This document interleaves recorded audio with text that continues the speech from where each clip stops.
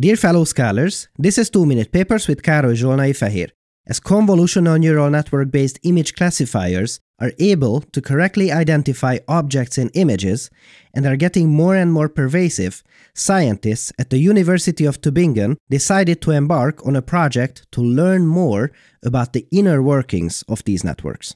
Their key question was whether they really work similarly to humans or not. Now, one way of doing this is visualizing the inner workings of the neural network.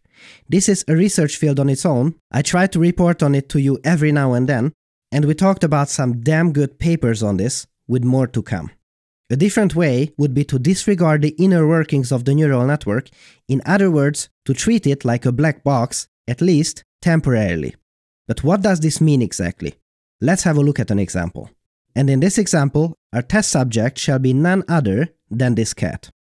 Here, we have a bunch of neural networks that have been trained on the classical ImageNet dataset and a set of humans. This cat is successfully identified by all classical neural network architectures and most humans. Now, onwards to a grayscale version of the same cat. The neural networks are still quite confident that this is a cat, some humans faltered, but still, nothing too crazy going on here. Now let's look at the silhouette of the cat. Whoa! Suddenly, humans are doing much better at identifying the cat than neural networks. This is even more so true when we are only given the edges of the image. However, when looking at a heavily zoomed in image of the texture of an Indian elephant, neural networks are very confident with their correct guess, where some humans falter. Ha! We have a lead here. It may be that as opposed to humans, neural networks think more in terms of textures than shapes. Let's test that hypothesis. Step number one Indian elephant. This is correctly identified. Now, cat. Again, correctly identified. And now, hold on to your papers, a cat with an elephant texture. And there we go. A cat with an elephant texture is still a cat to us humans, but is an elephant to convolutional neural networks. After looking some more at the problem, they found that the most common convolutional neural network architectures that were trained on the ImageNet dataset vastly overvalue textures over shapes. That is fundamentally different to how we, humans, think. So, can we try to remedy this problem? Is this even a problem at all? Neural networks need not to think like humans, but who knows, it's research. We might find something useful along the way. So how could we create a dataset that would teach a neural network a better understanding of shapes? Well, that's a great question, and one possible answer is style transfer. Let me explain. Style transfer is the process of fusing together two images where the content of one image and the style of the other is taken. So now, let's take the ImageNet dataset and run style transfer on each of these images. This is useful because it repaints the textures, but the shapes are mostly left intact.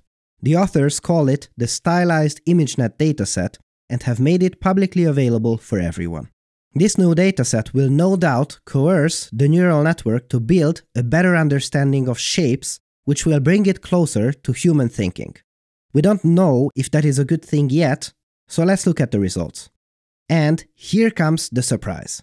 When training a neural network architecture by the name ResNet 50 jointly on the regular and stylized ImageNet dataset, after a little fine tuning, they have found two remarkable things. One, the resulting neural network now sees more similarly to humans. The old blue squares on the right mean that the old thinking is texture based, but the new neural networks, denoted with the orange squares, are now much closer to the shape based thinking of humans, which is indicated with the red circles. And now, hold on to your papers because 2, the new neural network also outperforms the old ones in terms of accuracy. Dear fellow scholars, this is research at its finest. The authors explored an interesting idea and look where they ended up. Amazing.